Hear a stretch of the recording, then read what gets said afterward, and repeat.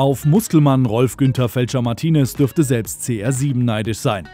Der 30-jährige Neuzugang von Zweitligist Würzburger Kickers promotet sich und vor allem seinen Körper fleißig auf Instagram. Der Rechtsverteidiger wurde in der Schweiz geboren, spielt aber für die Nationalmannschaft von Venezuela. Ein extrovertierter Typ, der vom Größten der Großen gelernt hat. Slatan Ibrahimovic, dem Meister der Selbstinszenierung. Sie spielten gemeinsam bei Los Angeles Galaxy. Mit Ibra in Hollywood, Fälscher steht für Glamour. Also vor allem sein Körper.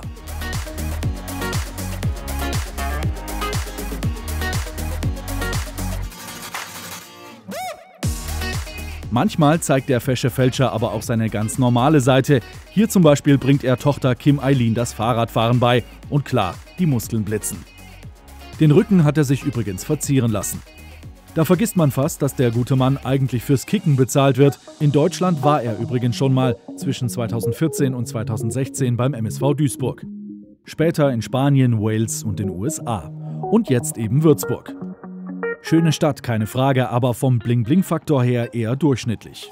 Gut, dass es Fälscher gibt.